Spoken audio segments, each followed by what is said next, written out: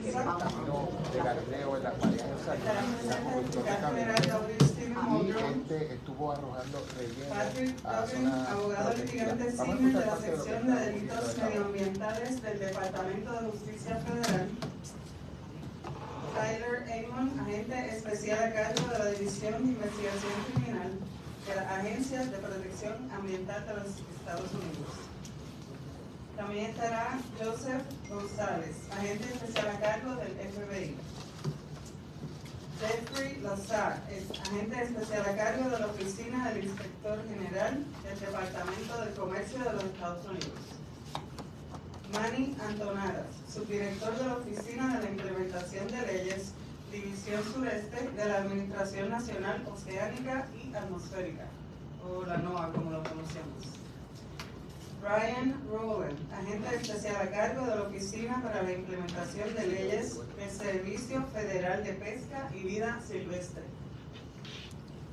Timothy Henwood, fiscal federal auxiliar y jefe de la División General. Y Seth Kirby, fiscal federal auxiliar y jefe de la Unidad de Fraude Financiero y Corrupción, que también está a cargo del caso.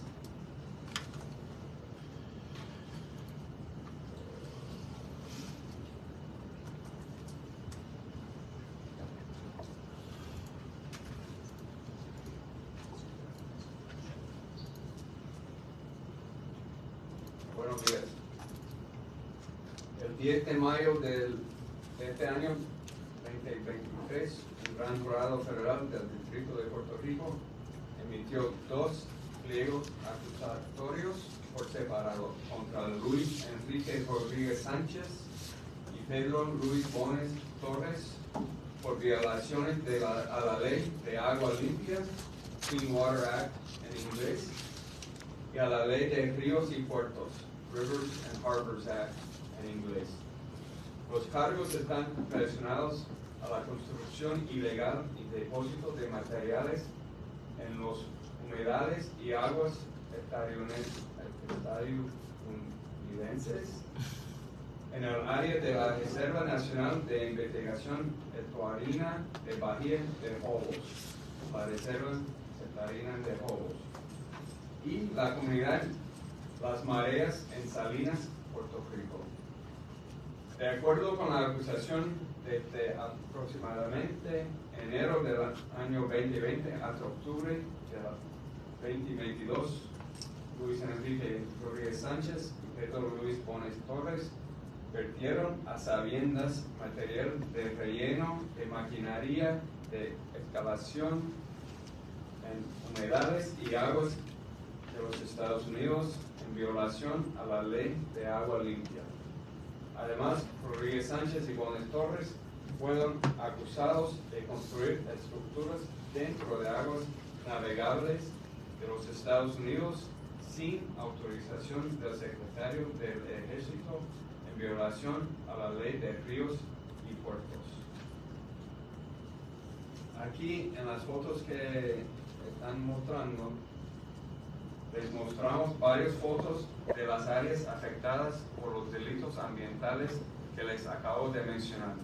Se puede observar cómo se encontraban las áreas en el año 2020 versus cómo se encuentran actualmente.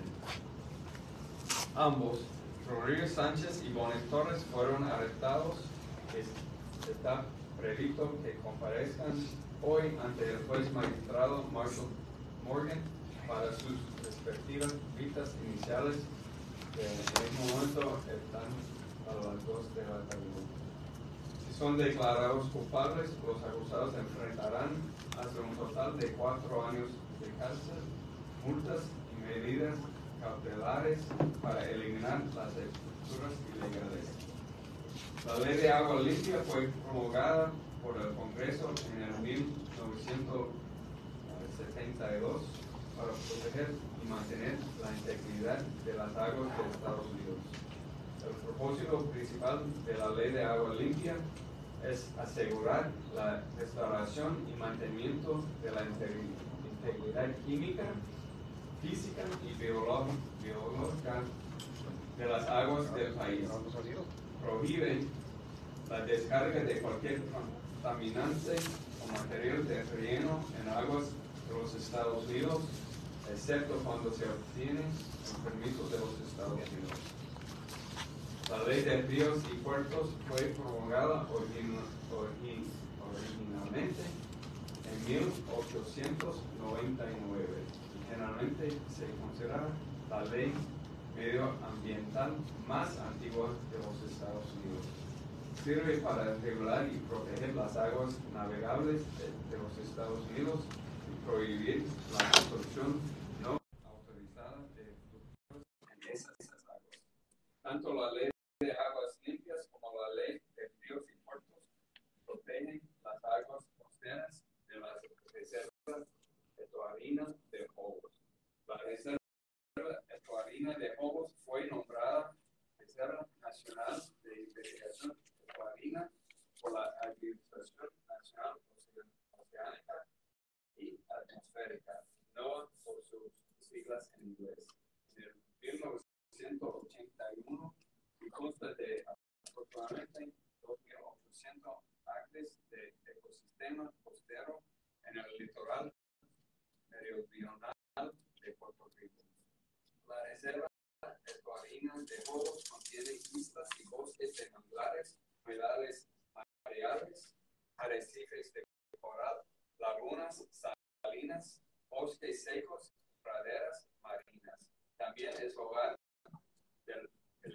pelicano pablo, el argón peregrino, la tortuga carey y el manatí antillano, especies en peligro de extinción. La reserva estuarina de Ojos es propiedad del Departamento de Recursos Naturales y Ambi- Ambientales de Puerto Rico y es operada por el. Quiero agradecerle a la secretaria Anais Rodríguez, al departamento y sus agentes por su ac- acostumbrada colaboración. También quiero agradecerles a los fiscales Tula y Irving, quienes están a cargo del caso y por su trabajo para llevar a cabo esta investigación a las siguientes agencias.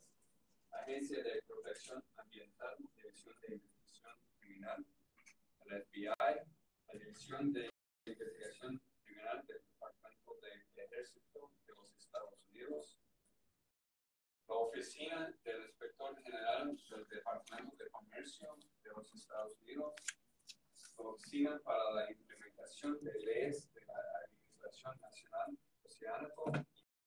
Atmosférica, la Oficina para la Implementación de Leyes de- del Servicio Federal de Pesca y Vida. Quiero enfatizar que la investigación continúa. Si usted tiene información sobre este caso o sospecha de que se está cometiendo un delito ambiental, por favor, contacte a los, los oficiales del orden público. Usted puede hacerlo de manera anónima si lo desea. Para contactar la EPA, llama al 787-977-5821. Puede visitar la página web de eco.epa.gov. Denuncia violaciones ambientales. Para contactar el FBI, llama al 787-987-6500. También puede visitar la página web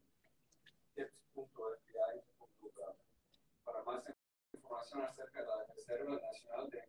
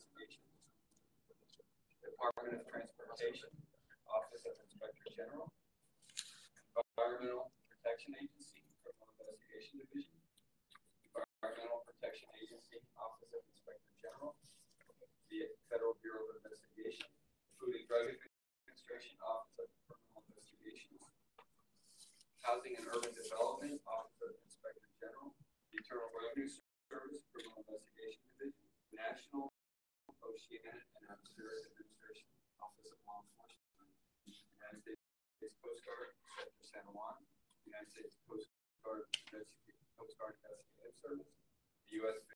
Fish and Wildlife Service, also the United States Attorney's Office for Puerto Rico, and the United States Attorney's Office for uh, the United States Virgin Islands.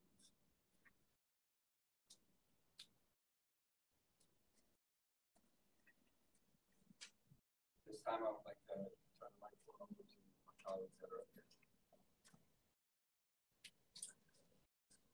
Morning.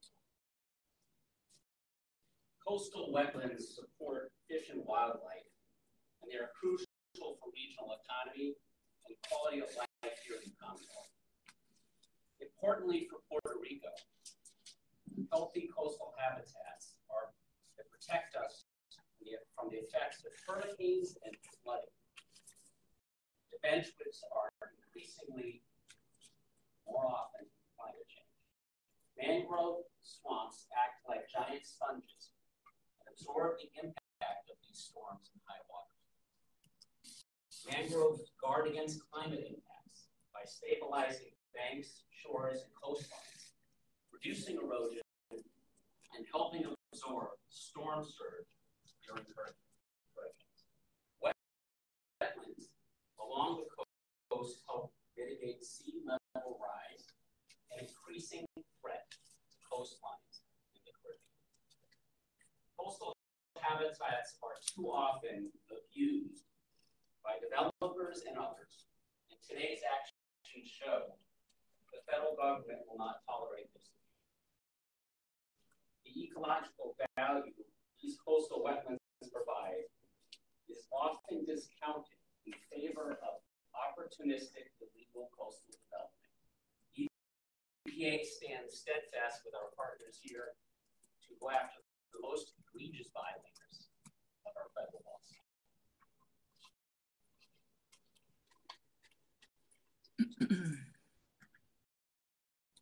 Buenos días a todos.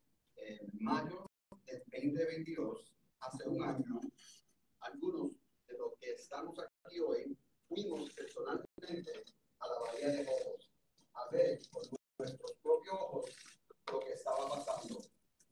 En aquella ocasión dijimos que de encontrar violaciones de leyes federales íbamos a investigar estos delitos hasta sus últimas consecuencias. Ustedes me han escuchado decir esto ya, pero me parece necesario repetirlo. Si ustedes están viendo esto y saben que violó la ley, no esperen mucho, porque esta investigación sigue. Y para el pueblo, sigan reportando. Nosotros sigo, seguimos trabajando para ustedes. Gracias.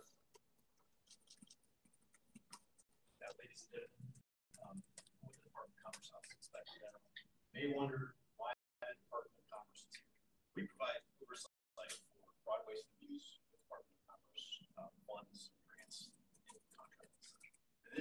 National Oceanic and Atmospheric Administration, Department of Commerce.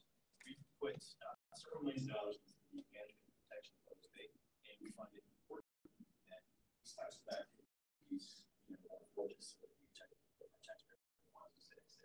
these kind of parts.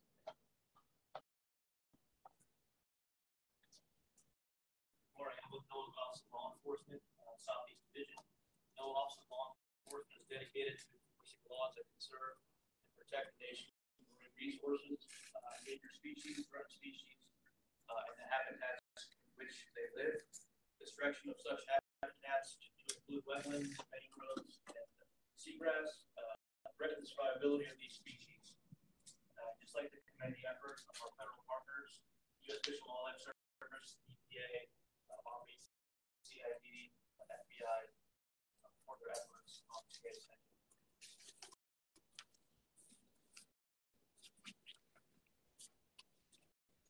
Sí, algunas preguntas.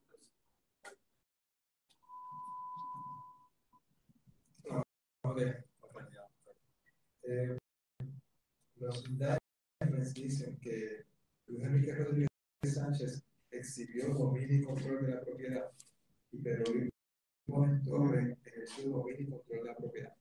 No me queda claro si ellos son dueños de la propiedad o estaban eh, ocupándola, manejándola sin ser los dueños oficiales de la propiedad.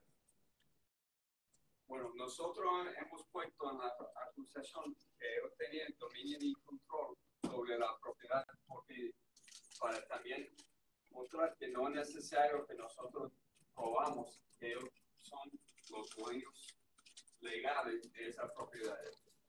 Entonces, el hecho de si son dueños o no dueños de esa propiedad no es relevante para las acusaciones. Se, se llega un momento dado cuando se determinado que no son los dueños oficiales o legales de esa propiedad, pues no ese otro este, asunto que no es relevante para, para la acusación.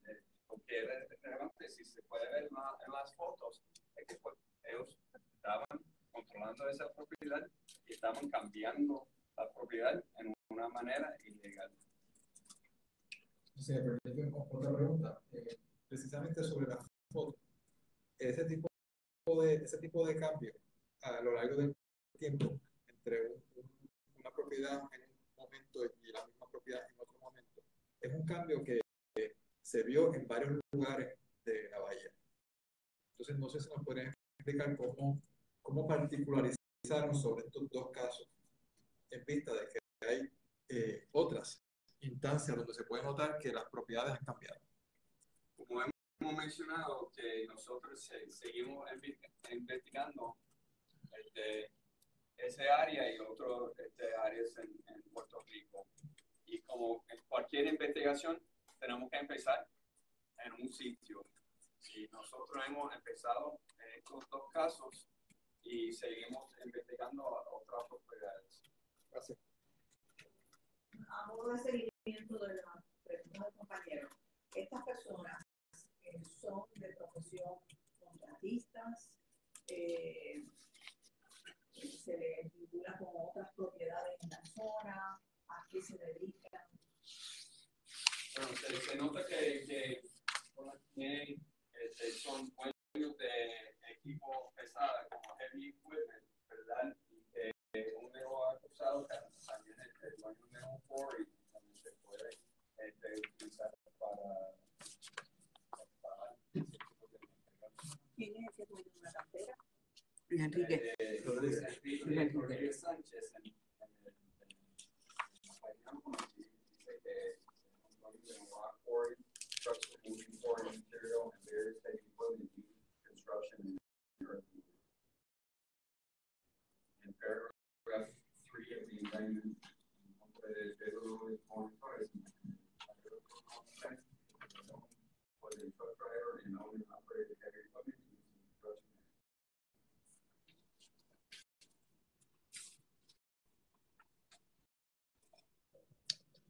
El departamento de, el departamento de naturales, en alguna forma, en este esfuerzo, qué participación? No, sí, nosotros, como mencioné antes, nosotros siempre estamos trabajando conjunto con este, nuestros este, compañeros eh, en el Departamento de Recursos Naturales y ellos tienen algunos agentes, como mencioné yo, gracias a, a ellos, a, a los agentes que también eh, eh, parte, estaban este, ayudando en el,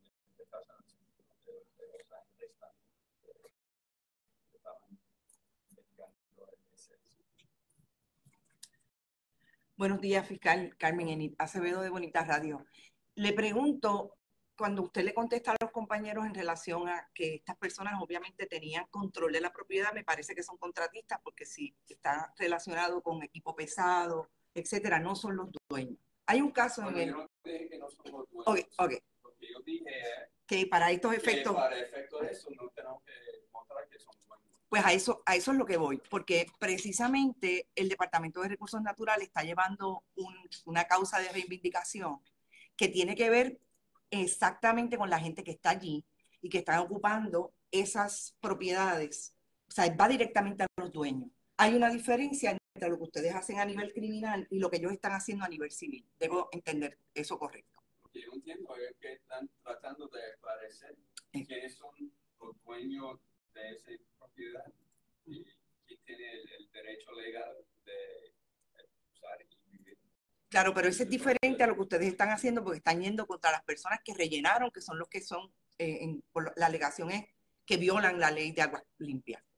Sí. Ok. Por un lado eso, y por otro lado, esto no ocurre en, Bahía de Jobos de la noche a la mañana. Aquí ha habido querellas múltiples desde el 2005, 2006. Ustedes fueron en el 2022, como dijo el, director del FBI. ¿Qué pasó entre el 2005, si ustedes lo saben, al 2022, que no pasaba nada con relación a lo que estaba ocurriendo aquí? Y este desarrollo por lo menos lleva cinco o seis años. Yo solamente puedo explicar lo que está pasando en esta investigación, donde nosotros eh, hemos investigado y, como dijo el, el- el Joseph, el año pasado, un grupo que se, se fueron allá y examinaron lo que estaba pasando y ahora estamos eh, mostrando algunos de los resultados de, de su reporte. El Tax Force precisamente se crea por la, los múltiples, las múltiples denuncias que hay alrededor de toda la isla de casos de crímenes ambientales. Bueno, el Task Force fue creado por precis- precisamente coordinar los esfuerzos de una lista bien grande de, de agencias que estamos investigando aquí en Puerto Rico, pero también en las, las Islas Vírgenes de los Estados Unidos.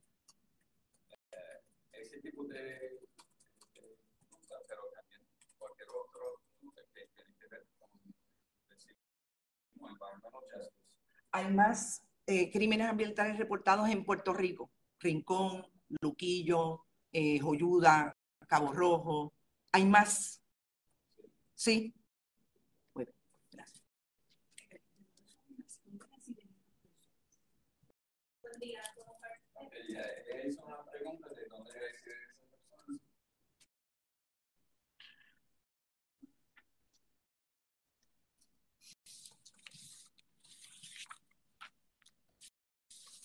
Lo que yo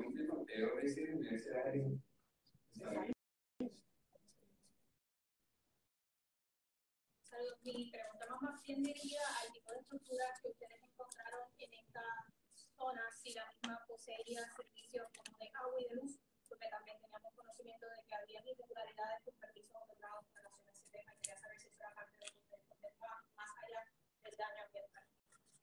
Entiendo que las dos propiedades tenían algo de luz. Muy buenos días. Precisamente en esa misma línea, si hay estructuras construidas sobre zona protegida, por definición construidas de, de forma ilegal, eh, se plantea que estas estructuras tenían, como se confirma, servicios de agua y luz. Por lo tanto, las agencias otorgaron permisos. Eh, pregunto si se investiga como parte de esta pesquisa la participación de agencias de gobierno a la hora de otorgar estos permisos, sabiendo que se estaba dentro de una zona protegida, si se está investigando agencias o individuos actuales o pasados de agencias de gobierno. No voy a comentar sobre qué otros aspectos de la investigación estamos eh, investigando. Por eso, pero, o sea, ¿qué le puede decir usted a la gente que está viendo? Porque hay una, hay un, una percepción general de que aquí, eh, si se otorgaron permisos para construir una zona en la que no se debe construir, algún tipo de irregularidad debe haber ocurrido. ¿Esto no se va a investigar? Vuelvo y repito, nosotros seguimos investigando cualquier delito que tiene que ver con ese tipo de actividad, pero no voy a comentar en particular sobre si lo que estás describiendo es parte de la investigación. ¿El gobierno local es inmune a este tipo de investigación? No hay nadie que está encima de la ley. Y eso incluye a dentro de agencias que pudiesen haber violado la ley esta o en cualquier otra instancia. No hay nadie que está encima de la ley. No estoy diciendo que alguna persona en el gobierno eh, ha cometido ah, algún delito, pero nadie está encima.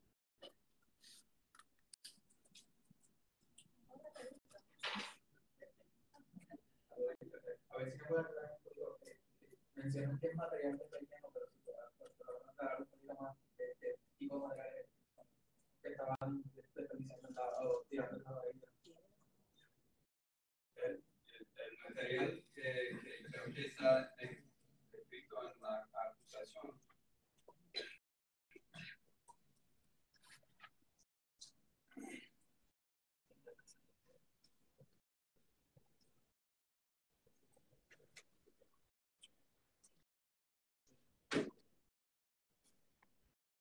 si se, se, se notan en, en, en la foto.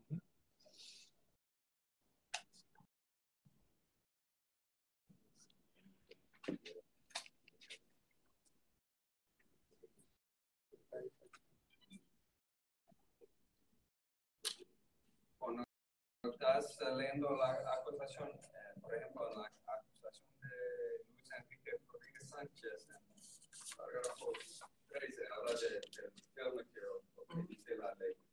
Por ejemplo, dice rock, sand, soil, clay, plastic, construction debris, Depende que el, el material que se pusieron ahí, de, de- de precisamente ese tipo de, de material como rocks y sand. Como parte de esa investigación, ¿han determinado cuánto daño se cau- causó el el desperdicio de este material y esta construcción? O sea, cuánto daño exactamente, qué fue lo que la destrucción que se causó, cuánto, eh, cuánto de, de, de- de- ah, espacio de, de, de- del bosque de la bahía se perdió, se va a poder re- recuperar ese espacio dentro Sí, de sí, sí, se nota en la foto exactamente el, el terreno que cam- cambió, los manglares que se, se destruyeron y, y se puede ver el, el cemento y los estructuras que pusieron en ese, ese pero se va a poder recuperar ese terreno dentro de parte de la tierra, va a poder Ese, ese es parte de- del proceso eh, bajo la ley que requiere que, que poner ese área y recuperar ese, ese área de una forma como era antes. ¿Y quién- quién va a hacer ese, ese tipo de, de trabajo? ¿Los mismos contratistas que, la- que, que causaron estos daños? o- Eso, eso finalmente va a decir eh, el juez al momento de si al final del caso si, si tenemos éxito y pues, es parte de, de, de los daños que el gobierno está pidiendo que, que, que permanezca. Más allá de los crímenes ambientales que, que, por por los que están acusando en este momento, por la zona de Valle de Jocos, eh, a nivel federal se investigan otras causas. Lo colación porque en un momento dado, mientras eh, la prensa llegaba a esa zona, hablaba de que había mucho narcotráfico y que esta zona en particular muchos vecinos tenían miedo con relación a lo que podía encontraron otras cosas con relación a los crímenes ambientales. Nosotros, este, como ustedes han, han visto en, en muchas ocasiones, que nosotros hemos estado aquí con otros oficiales de medio orden de la Policía de Puerto Rico, de la DEA, del HSI, del FBI. Nosotros siempre estamos investigando las gangas que están traficando en drogas y cometiendo delitos de, de, violencia en la comunidad. Entonces, si hay un pensamiento que alguna persona en esa área está moviendo y traficando en drogas, pues vamos a estar investigando. Saludos. Sí, usted ha- anuncia la creación de ese task force y, y- y la acaba de confirmarnos que sabemos que hay más crímenes ambientales alrededor de todo Puerto Rico. Sabemos que pues, el DRNA, por las razones que sea, pues no es casi no, no es muy activo, casi no, no lleva caso. Con esto task force, quiere decir que el FBI van a estar más activos, van a intervenir más en este tipo de violaciones ambientales Bueno, también quiero eh, enfatizar que aunque nosotros hemos creado ese task force, eso no quiere decir que no hemos estado trabajando conjuntos antes. Esa es una un- otra etapa en el, el proceso de tratar de, de, sin duda, coordinar en una forma este, más regular que hemos hecho en el pasado y siempre estamos buscando formas de cómo nosotros podemos aumentar los esfuerzos que tenemos, los, eh, usar los recursos que tenemos para, para tener éxito en esa área de vez, buenos días. Eh, ustedes decían que esta es una investigación que está abierta. Quería preguntarles si en esta etapa se puede decir que es inminente la erradicación de cargos adicionales a otras personas. Bueno, yo no, digo cuándo eh, otro cargo van a venir, pero seguimos trabajando día y noche para el pueblo de Puerto Rico, para que nosotros este, ah, podamos, obviamente, traer más casos de contra personas que nosotros entendemos a la suficiente pruebas. También por eso hemos mencionado y, y también, eh, pues, eso, si tiene información sobre otras personas o otros casos, o si cree que tú personalmente estás muerto,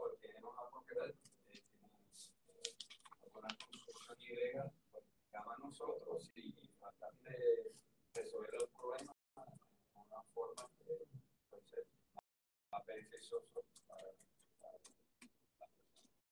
y comprendo perfectamente que no nos vaya a decir una fecha, pero me, me refería a si en esta etapa de la investigación es cuestión de tiempo que, que se radiquen cargos adicionales.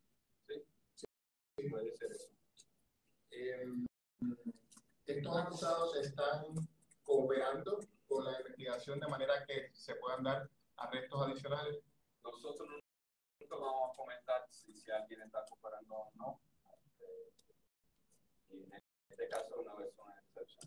No vamos a comentar si la persona decide cooperar. Pero el mensaje siempre hemos dado es si una persona decide cooperar con nosotros, este, nosotros siempre vamos a tomar esa consideración.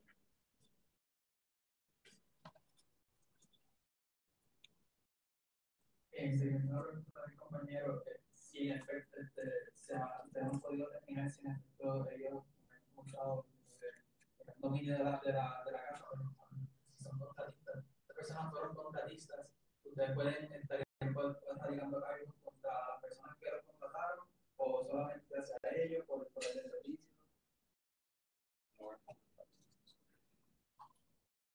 ¿Ya se sabe a quién le pertenece esa tierra? ¿A quién ellos dicen que le pertenecía?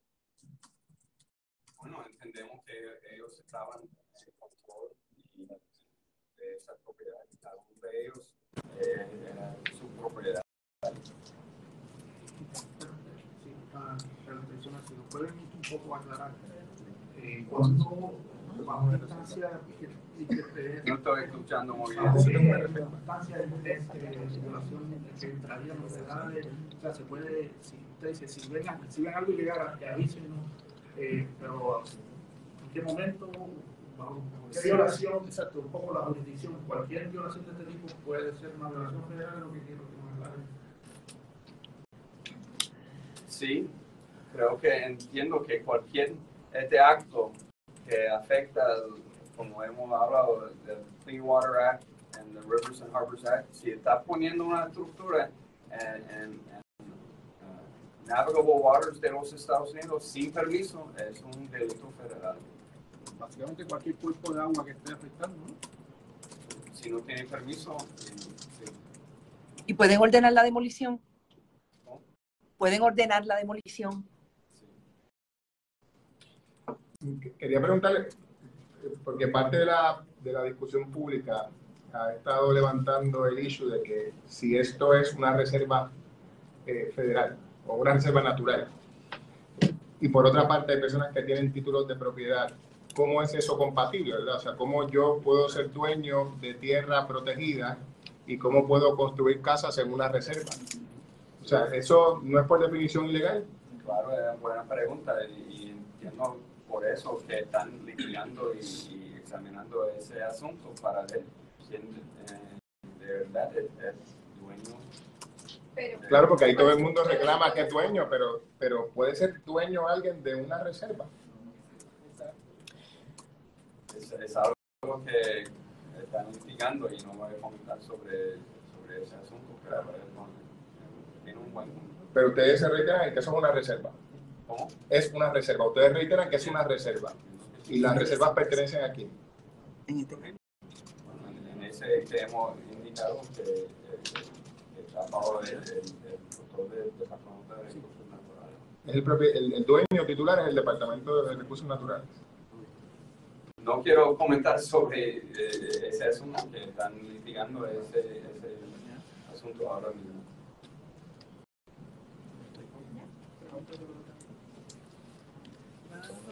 ¿Se puede? Otro tema. Si ustedes están al tanto de los, casos que estamos ocurriendo de, asesinatos de personas ajenas a, a crímenes en la calle por ejemplo, y en Coamo, este, ¿podrían las agencias federales intervenir o están, están colaborando de alguna manera u otra en este tipo de casos? Sí, nosotros siempre estamos colaborando en eso. Claro, pero no, tienes, no puedes construir Pero lo que quieras. Parece que tienes que están haciendo respetar intervenciones en algún momento, Y No ahí voy a nadie comentar, pero Bueno, eh, es confianza y fe que nosotros estamos tienes que darle el uso que, que la ley manda. Por eso son humanos, pues pueden hacer más cosas. ¿Nos puedes poner?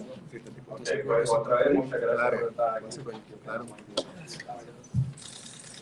Gracias. Ay, qué bien.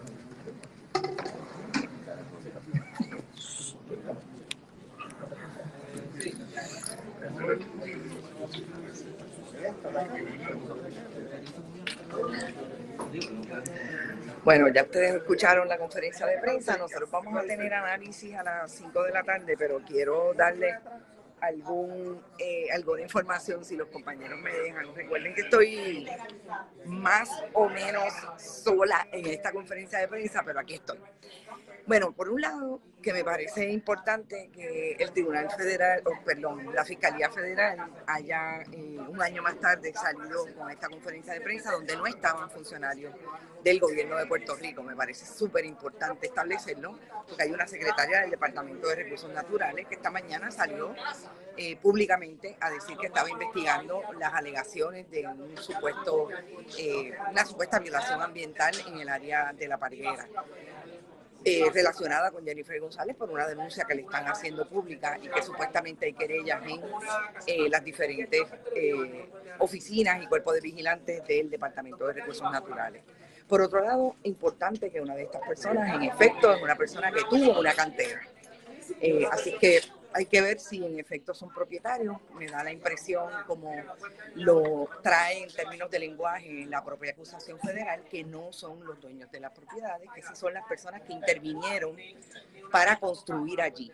Así es que eso está todavía pendiente, que entremos un poco más en más de información eh, sobre lo que las alegaciones bastante sencillas que trae ese indictment. Yo eh, también tengo la pregunta de que definitivamente este tax force está eh, creándose a nivel federal, porque hay demasiados fogones prendidos, nosotros lo hemos hablado en muchas instancias a través de todo el país, con relación a los crímenes ambientales, que son denuncias que están trayendo a las comunidades, que son denuncias que están trayendo los diferentes campamentos. En parte también eh, algunos representantes legisladores de Victoria Ciudadana también lo han traído. Sabemos que Eliezer Molina ha sido bien vocal con relación a ese tema, así que yo creo que hay una respuesta del gobierno federal que estuvo bastante silente en por lo menos los últimos 10 años, si no totalmente silente, a lo que estaba pasando en eh, la Bahía Estuarina de Jobos, que no es una construcción, y en ese sentido fue mi pregunta, no es una construcción que data de ayer, es una construcción que por lo menos lleva 6, 7 años desarrollándose aceleradamente. Nosotros vamos a entrar en el análisis de lo que en efecto es el caso civil de la Bahía Estuarina de Jobos, eh, que lleva el Departamento de Recursos Naturales, que está dirigiendo en términos de abogado el licenciado Homero González, eh, a las 5 de la tarde. Y sobre todo que podamos establecer que fue el periodismo independiente que le quien le dio visibilidad a este caso. Ahí están todos los compañeros que trabajaron. Nosotros en Bonitas Radio vamos a repetir las historias que son del marzo del 2022 con relación a este tema. Así es que nos vemos a las 5 de la tarde en Que Palo es Noticia.